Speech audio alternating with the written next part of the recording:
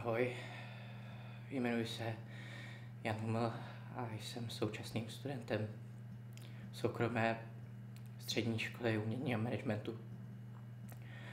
A pokud hledáte jednu z nejlepších a ne nejlepších škol v celé Praze, můžete si být jistí, že je to přesně škola umění a managementu Senovážné náměstí Praha 1. Soukromá střední odborná škola umění a managementu. Donutíme vás myslet kreativně.